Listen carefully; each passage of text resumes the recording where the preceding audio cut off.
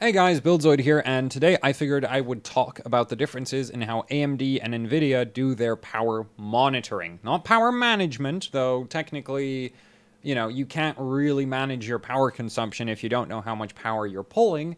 Um, so this video is sort of a like th- this lays down the groundwork for how their various power management systems work and basically how AMD's doesn't work.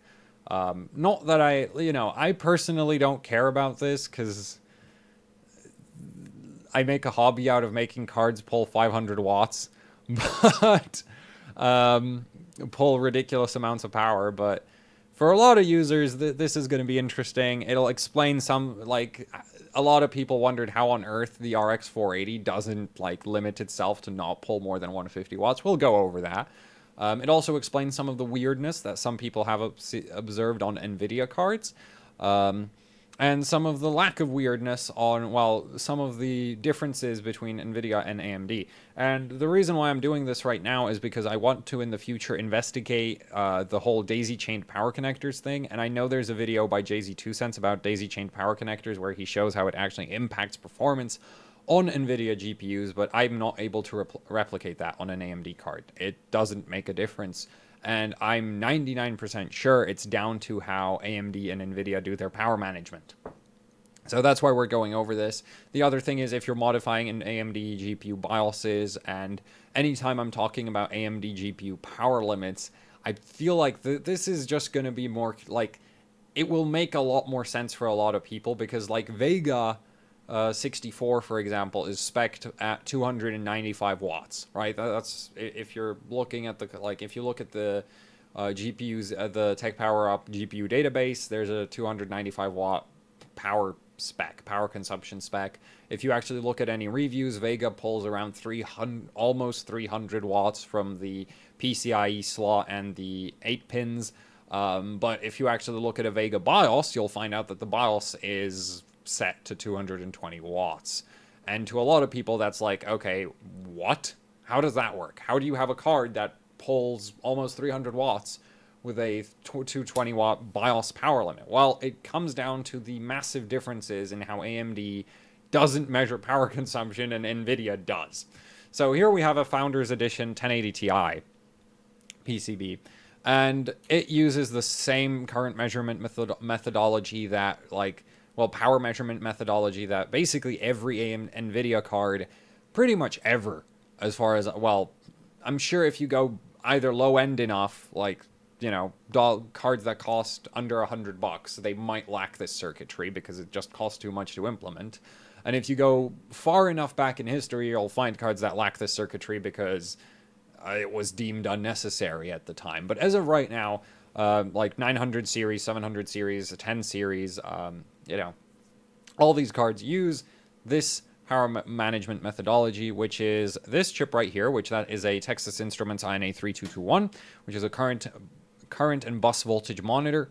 And basically that thing monitors the voltage drop across shunts placed on NVIDIA cards. And basically the shunts connect all of the 12 volt power to the G- rest of the GPU.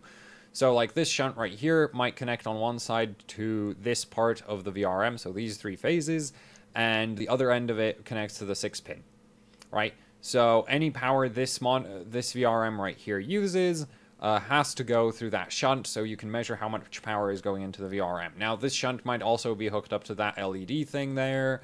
Uh, the memory VRM up here might even be hooked up to the fan control fan connector. I don't know. I've never had one of these cards in hand. It's not exactly hard to figure out how this is wired up, but without the card in hand, it's impossible. So you know, that shunt basically monitors all the power going through it, and anything on the other side of the shunt is therefore measured as part of the shunt's power consumption, as power consumption through the shunt. Uh, same goes for like this one. This one might be hooked up to the other part of the VRM, this VRM down here, possibly this one up here. You know, like how the details of how these are hooked up doesn't matter. Basically, what matters is as current goes through these shunts, and these shunts are hooked up to every single 12 volt input on an NVIDIA card. So, like, this card has three 12 volt inputs. So, you have the PCIe slot, you have your 6 pin, and you have your 8 pin. So, you have your one shunt here, one shunt there, and another shunt here. So, we have three shunts for three 12 volt inputs, which means that the card knows exactly how much power it is pulling through the PCIe slot and through the 8 pin and the 6 pin. Um, and the INA 3221 just reports the current and voltage readings to the NVIDIA driver, and then the NVIDIA driver makes the necessary adjustments to GPU core clock to stay within the power limit. So if the INA 3221 measures a average power consumption of 320 watts on a card with a 300 watt power limit, uh, the driver is going to go, hey, uh, slow down. And if it measures 280 watts or 260 watts or some something lower than the power limit, the driver is going to be like, yo, uh, you can speed up uh, up to a certain point. Obviously, if you set an NVIDIA card to have a 600 watt power limit, it's not going to try overclock itself to 3 gigahertz. It's just going to overclock itself to the highest uh, available state in the power play. Uh, the well, it's not power play, but the the Boost 3.0 voltage and frequency table is just going to go up to the highest available state, which might be like 2.1 gigahertz or 2 gigahertz if you're overclocked or something like that. A lot of cards at stock will be hitting around 1900 because that's where the power uh, that's where the table maxes out on stock. Obviously, once you apply an overclock, that entire table moves upwards, so you get a higher max frequency available, and that max frequency is used whenever the power consumption isn't exceeding or the thermals are low enough. So that's how NVIDIA does their power management. They know exactly how much the entire GPU is pulling because they have three 12 shunts on the 12 volt rails monitoring how much power is going through them. Now let's take a look at the AMD approach, or the not an approach. This is an RX 480. You may notice that there are zero shunt resistors on this card. I mean, for for those uh, you know sort of new to the topic, these aren't shunt resistors. These are marked 000. These are basically just bridges and they they exist on PCBs like this one because AMD uh, because when you design a PCB you often have something that you're not entirely sure if you want to implement it one way or another way so you'll give yourself solder pads like these and then use these zero ohm bridges to connect those things depending on what you end up deciding to actually do with the PCB. Because if you bridge this right here, you're actually going to end up hooking up because normally an RX4 uh, RX480 like this one these three phases of the VRM are on the PCIe slot. These three phases are on the 6 pin. Um, and if you bridge this, what actually ends up happening is you connect the 6 pin and the PCIe slot 12 volt power planes into one piece. Um, now, if you were to actually, depending on the arrangement of these various bridge, you know, bridges that the card has, um, you can actually basically make the card only use the 6 pin or only use the PCIe slot or whatever it is that you actually wanted to do. Um, but that's just a sort of des- like PCB design thing. These are not current shunts. Uh, the card completely lacks any kind of current shunt monitoring system. There's no INA 3221 or an equivalent to an INA 3221 anywhere on the card. Um, so anybody who's dug into the BIOS for an RX 480, you'd know that most RX 480s have a 110 watt power limit. Um, and excuse my scribbles being worse than ever. I'm currently using the mouse. Well, actually, they're not worse than ever. They're just worse than you probably got used to. But because um, I have been using the tablet a lot, but we're we're going to use the mouse for this because we're not going to spend that much time on the cards. But an RX 480's BIOS power limit is around 110 watts.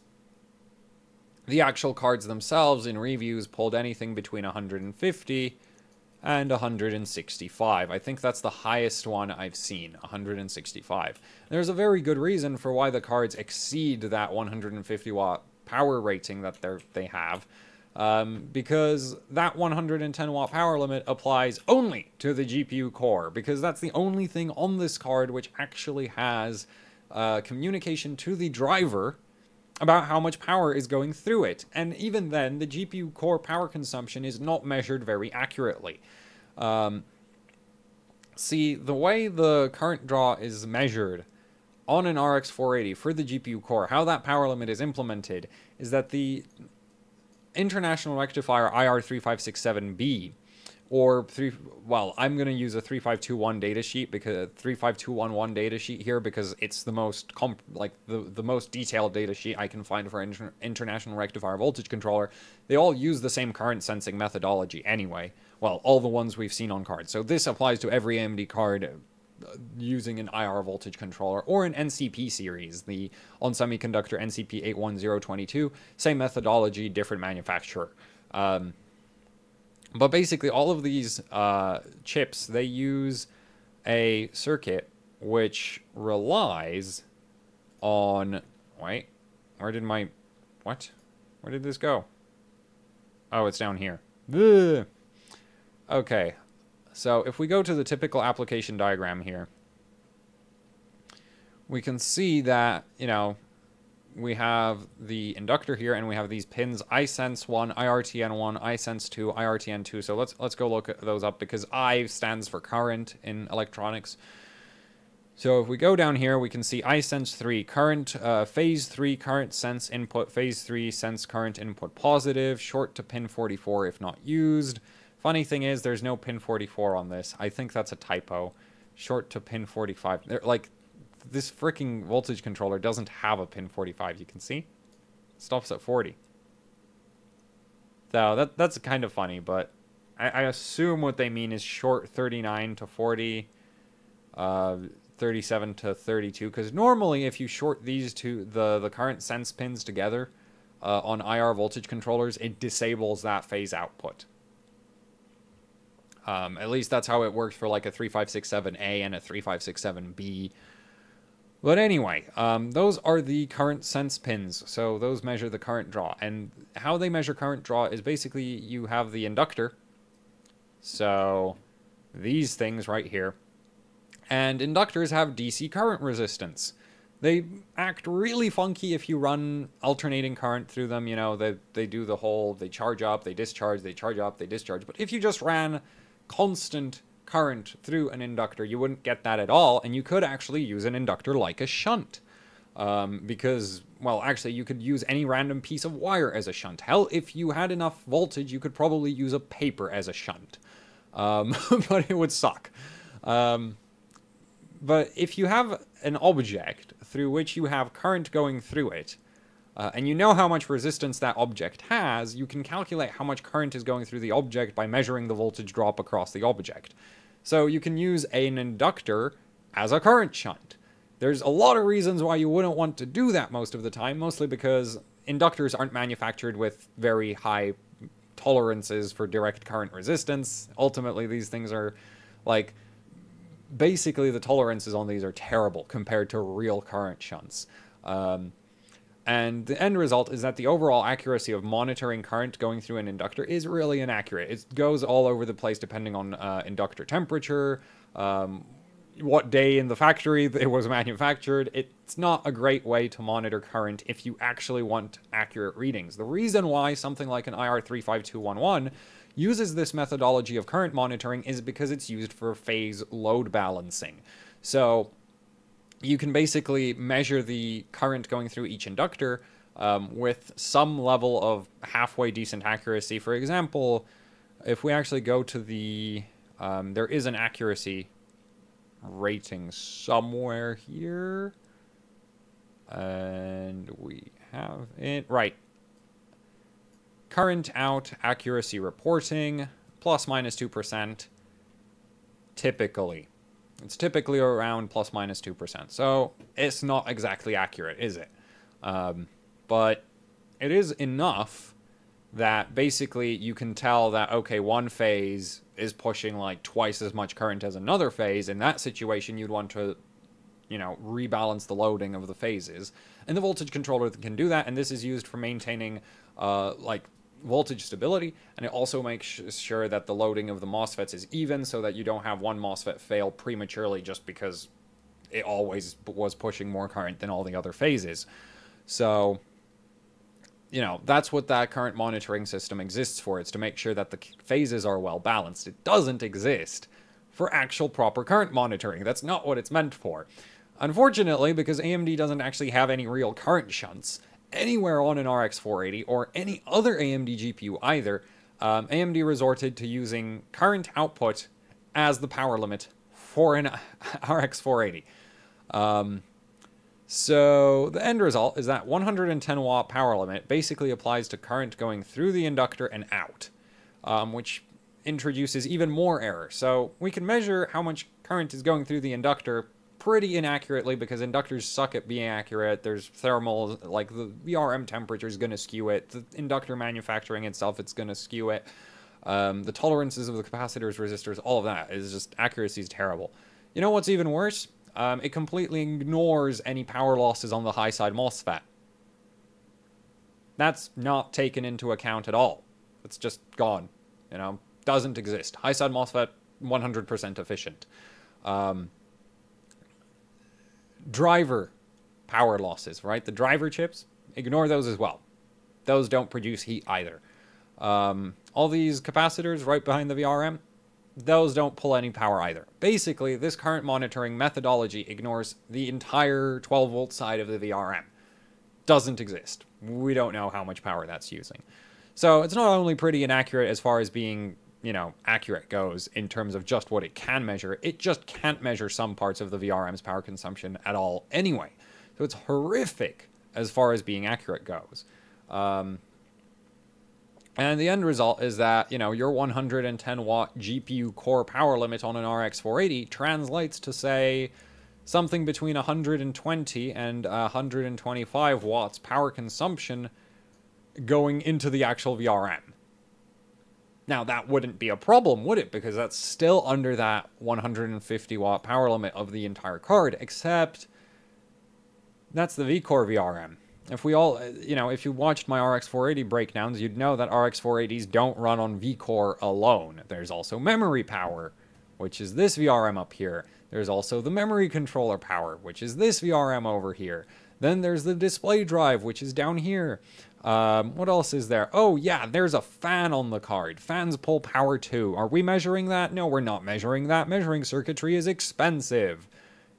An INA 3221 costs about a $1 if you're buying it bulk off DigiKey. I'm pretty sure if AMD wanted to, they could convince Texas Instruments to sell it to them for less than a dollar. And shunts really aren't that expensive, so I'm not buying that cost save. Like, if if having terrible current monitoring is a cost saving measure, it's a terrible cost saving measure. It doesn't save any money at all. Like it's literally probably around a dollar or two per card.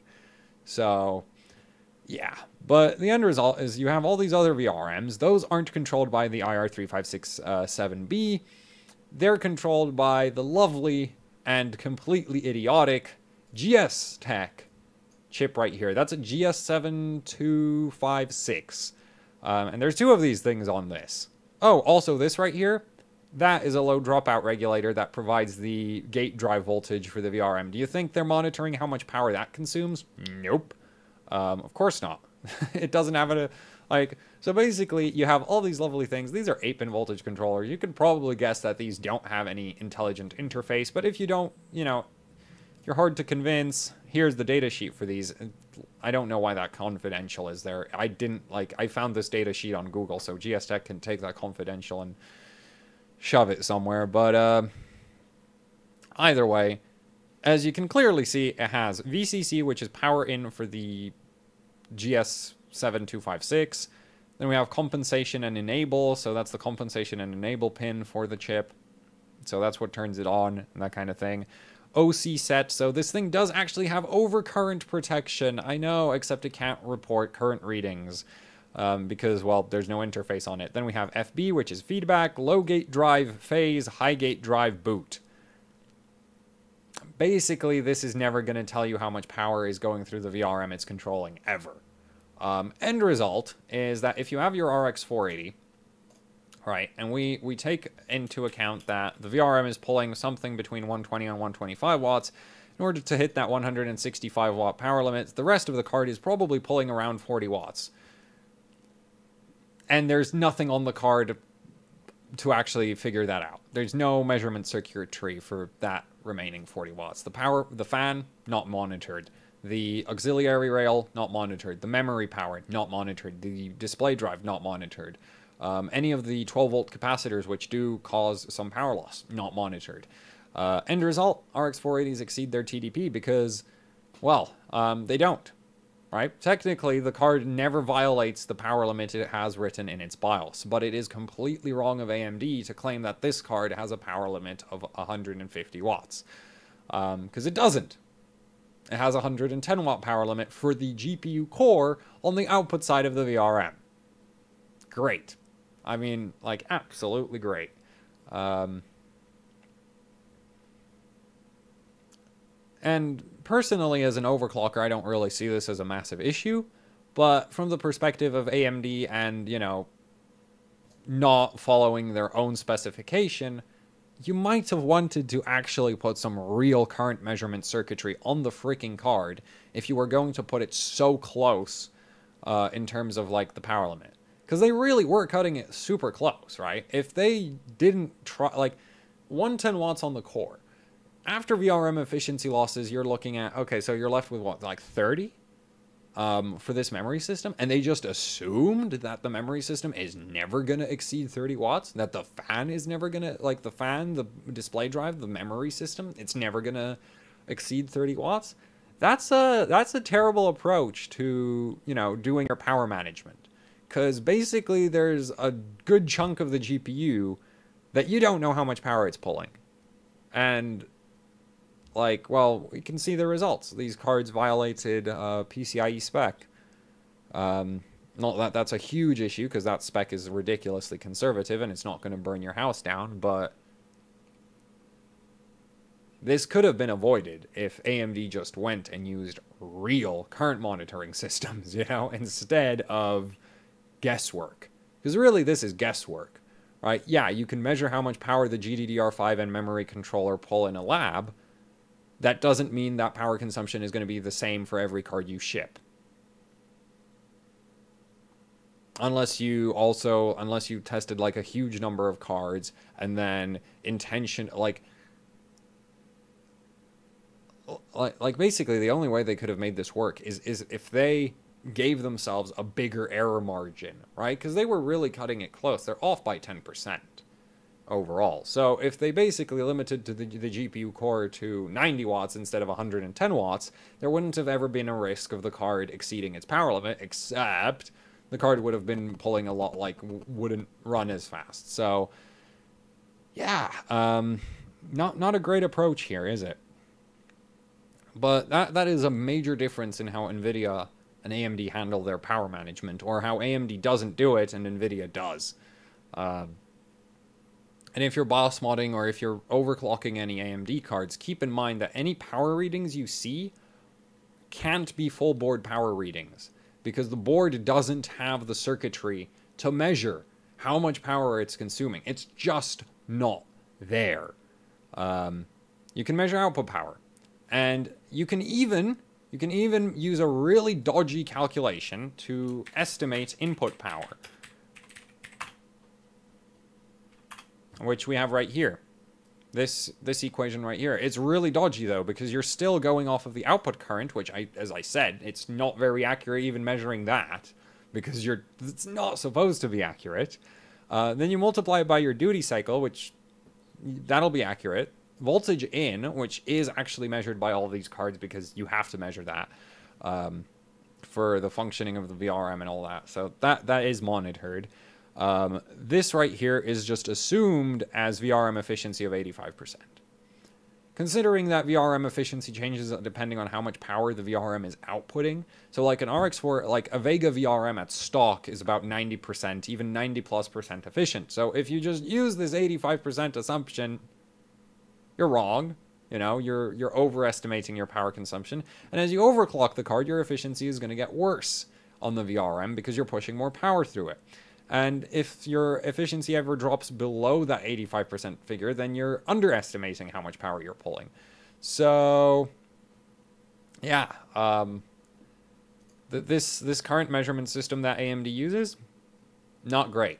Really, like, not great. Again, if you're overclocking and you know what you're doing, not an issue. But if you're trying to get power readings or you're trying to do cal- efficiency calculations or something like that, like you're trying to figure out how much power you saved undervolting your Vega card or something, um, just keep in mind you're not seeing full board power consumption at all. You're seeing vCore and I think HBM on Vega. On an RX 480, you're only seeing vCore. The rest of the card is powered by things that don't have an interface uh, at all. Um, HD 7970s are I think are vCore and memory off of the voltage controller. It varies card to card. So basically, you don't know, right? It's a dodgy way to measure power. Um, and you know it is i guess it's a cost saving measure a pretty terrible one if you ask me because as i said ina 3221s are not expensive and shunt resistors aren't either um, especially considering that nvidia can be bothered to use those when the rest of their cards is usually horrifically downcosted compared to amd cards but yeah that that's the that, that's the difference in their power ma- ma- management systems. That's the fundamental difference. And uh, hopefully, this clears up some misunderstandings for a lot of people because I've seen tech tubers and uh, like I, I've, I've seen far too many people report AMD GPU power consumption numbers thinking that they're actually full, full GPU power consumption when they're not. You're measuring core only because the rest of the card doesn't even have the circuitry to measure power consumption. So, yeah, that's it for this video. Thank you for watching. And uh, if you would like to support what I do here with actually hardcore overclocking, I have a Patreon and PayPal. There's shirts. You can find all of those things down in the description below. It's all on one link. Um, uh, if you have any questions or comments, there's a comment section. You can drop those down there. And I will be seeing you next time.